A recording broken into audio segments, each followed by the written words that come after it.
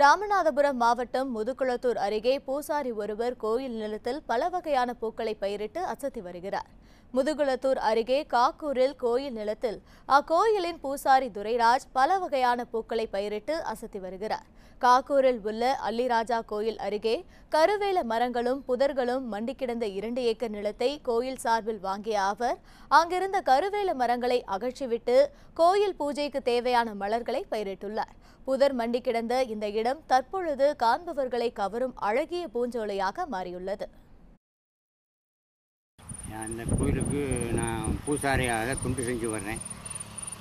அதோட இந்த இடத்த இன்னொருத்த அடுத்த ஆள் இடத்த வாங்கி கோயிலுக்குன்னே எழுதி வாங்கியிருக்கேன்.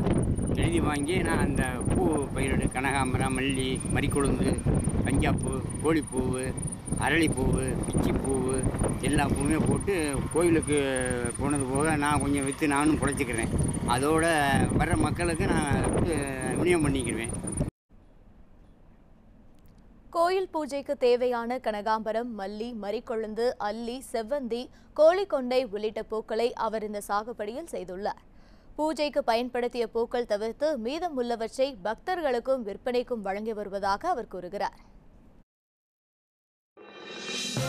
இது போன்ற முக்கிய வீடியோக்களை உடனுக்குடன் தெரிந்து கொள்ள நியூஸ் ஜே யூடியூப் சேனலை சப்ஸ்கிரைப் செய்யுங்கள்